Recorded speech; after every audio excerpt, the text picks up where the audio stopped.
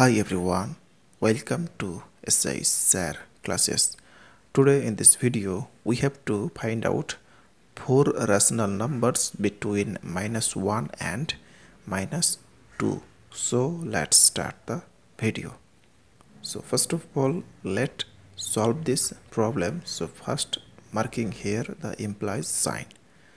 Now here the given number minus 1 and minus 2 next we can write minus 1 by this way. So here over 1 and here also over 1 now for four rational number so four rational numbers between any two number we have to follow this method. So we should multiplying with both number by 4 plus 1 so we should multiplying with both number by 4 plus 1 equal to 5 up and down. So multiplying by this way here 5 and here also up and down by 5 so first this one this one minus 5 over 5 and this one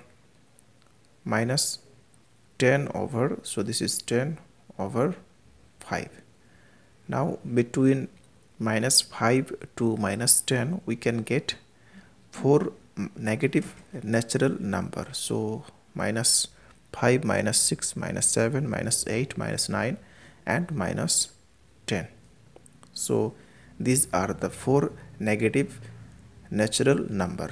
Now here forming all the rational numbers.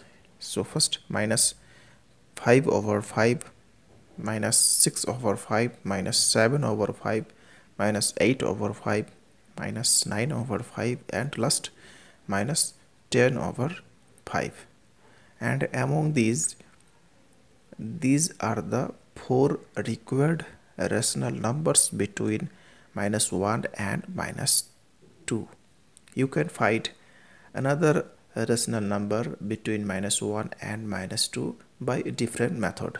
Okay. So therefore the four rational numbers between minus 1 and minus 2 are minus 6 over 5 minus 7 over 5 minus 8 over 5 and last minus 9 over 5 so this is the process to find out four rational number between minus 1 and minus 2 that's